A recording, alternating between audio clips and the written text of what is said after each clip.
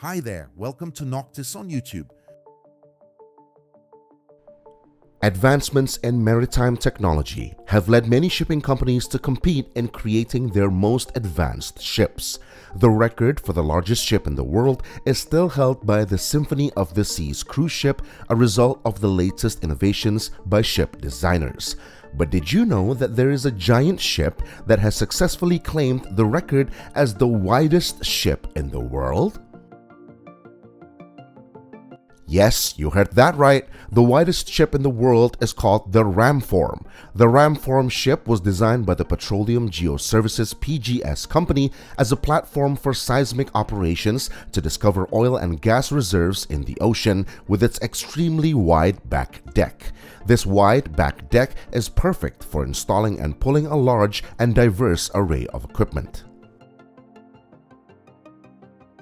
The delta-shaped hull of the ram Ramform was designed by Roar Ramde, a Norwegian Navy architect. The initial design of the ram Ramform seismic ship was inspired by the Norwegian Navy's intelligence ship called the FS Marjata. The curved waterline of the ram Ramform ship allows it to achieve stable movements. The Ramform ship itself consists of various models, with its first generation being named the Ramform Explorer, which was first launched in 1995.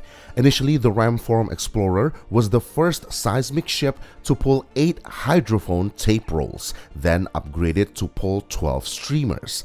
At its inception, the ship, with a length of 82 meters and a width of 39 meters, immediately broke all seismic performance and 3D endurance records. However, in 2010, the ship underwent a refit. After the Ramform Explorer in 1996, PGS began building another seismic ship type called the Ramform Challenger with a length of 86.2 meters and a width of 39.6 meters. Similar to the Ramform Explorer, the Ramform Challenger was also designed by Roar Ramde. However, unlike the Ramform Explorer, which sailed under the Norwegian flag, the Ramform Challenger sailed under the flag of the Bahamas. Then, in April 2011, PGS signed a contract with Mitsubishi Heavy Industries, a leading shipbuilder based in Japan. The contract signing included a project to build two special W-class Ramform ships. This contract agreement also included options to assemble two more ships within one year after the final contract signing. It is worth noting that the construction costs were estimated to reach up to $285 million, including commissioning and seismic packages for each new generation Ramform ship. The Ramform W-class ships were built at the Mitsubishi Heavy Industries shipyard located in Nagasaki, Japan. The details of the Ramform ships were made according to the designs provided by PGS. Then in April 2013, following the contract signing, the first Ramform W-class ship was officially handed over to PGS. This ship was named Ramform Titan. Ramform Titan is one of the best and strongest variants of Ramform ships ever owned by PGS. This seismic ship, with a length of 104.2 meters and a width of 70 meters, has been fully integrated with GeoStreamer technology and offers high equipment redundancy. Additionally, Ramform Titan also has 24 controllable streamers for optimal results. 16 streamers are aligned behind, while 8 other rolls are aligned in front. The number of streamers owned by Ramform Titan is more than its predecessors, Explorer and Challenger. These tape rolls can pull sensor networks over an area of more than 12 kilometers. Three variable pitch propellers generate a power of 1.8 megawatts. This power is more than enough to pull widely scattered multi-sensor recording equipment. Its propulsion system allows full operation using only two propellers and one pair of engines.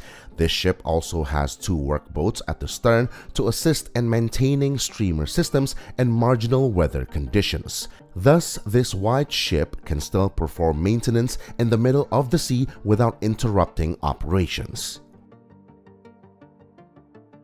With the features possessed by Ramform Titan, it is no wonder that a ship that can accommodate up to 80 crew members is an ideal platform for high-density 3D acquisition and reliable and compatible 4D projects.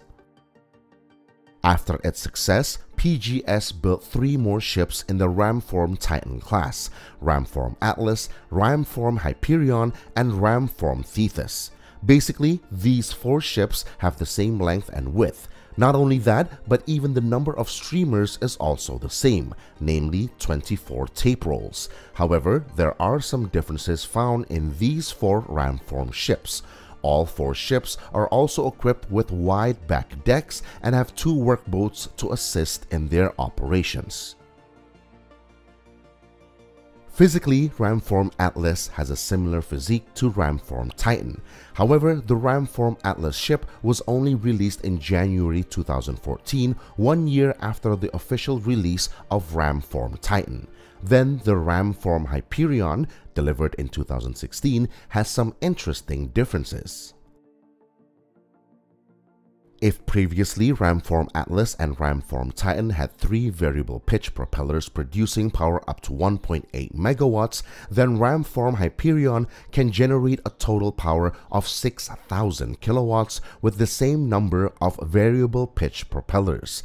These propellers are driven by a pair of redundant engines totaling 26.4 megawatts. Thus, it can pull all multi-sensor recording equipment using only these propellers. The dry docking interval for this ship is 7.5 years. Meanwhile, specifically Ramform Thetis has exactly the same technology as Ramform Hyperion, starting from the length and width of the ship, the number of hydrophone tape rolls, the engine power and pitch propellers, dry docking interval to the year of release. But the difference lies in the normal operating mode. Ramform Thetis only needs to use 16 streamers although this ship is also capable of pulling 24 streamers if needed. So how does the Ramform ship carry out seismic survey operations and handle data processing in oil, gas, and other underwater resource explorations? For information, the Ramform ship is included in the category of seismic survey vessels, which is also included in the list of offshore support vessels or OSVs. As the name suggests, this ship is specifically designed for seismic surveys to find the best areas for oil and gas drilling in the ocean. The method involves shooting seismic waves and measuring their return to determine if the area is suitable for drilling.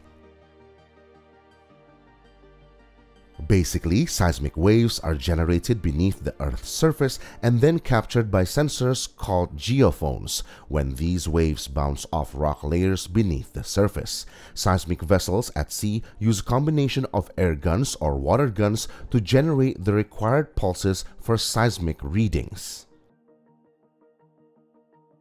The water gun method is more commonly used than the air gun method. This is because air guns produce unwanted secondary pulses after the initial shot, which can blur the waveforms, thus disrupting accurate data interpretation. Meanwhile, the water gun method works by injecting water into the sea, which solves the problem caused by air pressure. This aims to generate acoustic vibrations that can be read by geophones and interpreted to reveal geological features beneath the seabed. Whatever method is used, the returning pulses are captured by the geophones mounted on streamers previously deployed by the Ramform ship. The information collected by the geophones is then gathered into analog signals before being converted into digital signals and transmitted to the computers on the ship. Once the information from the geophones is received by the computers, it is immediately translated into a digital map below the surface. The ship's computer room consists of many computers located in a special instrument room. In this room, geophysical and geological experts analyze the digital map to determine the presence of hydrocarbons. This can certainly help oil and gas companies find new drilling wells in the ocean. The seismic survey process is not quick. The experts and crew aboard the Ramform ship may spend days searching for the right location for oil drilling. Therefore, the Ramform ship is equipped with complete facilities to support the activities of experts and crew on board. One of them is the cabin room, which serves as a resting place after work. Inside the cabin room, it is equipped with beds, desks, chairs, wardrobes, and clean and comfortable bathrooms. The crew will not go hungry either because this ship has many professional chefs who cook various delicious dishes for them. The crew can enjoy their meals in the dining room provided. To keep the experts and crew always in good condition, they can engage in sports activities in the sports hall available on the ship. Inside the sports hall, the crew can choose their favorite sports activities, starting from basketball, table tennis, volleyball, to a fully equipped gym. The sports hall on the Ramform ship also includes a sauna room that can be used by the crew after exercising. The Ramform ship is also equipped with a helipad for helicopter landings. It is worth noting that the scheduled crew members will be transported by helicopter from the designated location to the Ramform ship in the middle of the sea. In addition to transporting the crew, the helicopter may also carry other cargo that may be needed on the ship at any time. Thus, the helipad plays an important role on this ship. As for safety systems, the Ramform ship is equipped with advanced lifeboats. These are not just rescue boats, the lifeboats also have clothing that functions as life vests. These clothes can be used by the crew in case of an incident inside the ship, such as grounding, fire, or sinking. Therefore, lifeboats play an important role in helping the safety of the crew on board.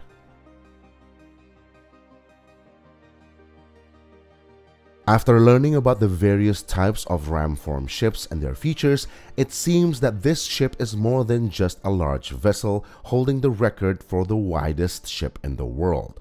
Ramform has proven its performance in assisting the maritime and oil and gas industries in conducting seismic surveys in vast oceans. This is because the oil and gas industry is still one of the industries that boost the global economy to this day.